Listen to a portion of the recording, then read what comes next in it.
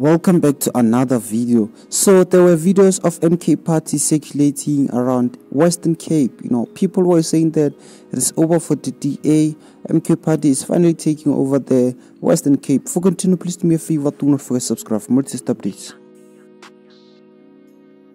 So guys honestly speaking i don't believe that mk party in western cape will ever be big as the DA because Western Cape is really dominated by white people and they prefer voting for the DA.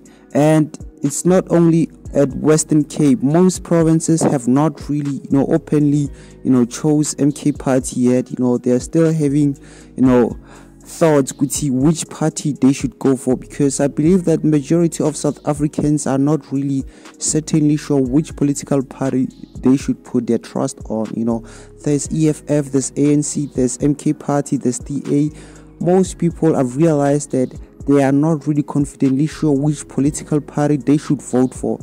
You know, because a lot of South Africans at this point are not even yet registered to vote, you know. And I believe that MK Party is certainly big in um, KZN, Gauteng, and Mpumalanga because other provinces have not yet openly, you know, chose MK Party, not even the ANC or the EFF. You know, they're still not really sure which political parties, you know, they should go, uh, they, they should go and vote for. But what I know is that the ANC this time, you know, is really gonna see flames because of MK Party, even the EFF. MK Party is gonna divide the votes there from the ANC and the EFF. You know, I that's what I believe. Good team members of ANC and EFF will jump to MK Party. You know, that's the biggest threat that Jacob Zuma has for EFF or the ANC. But with the EFF, it might work on its advantage because people believe that MK and EFF might be working together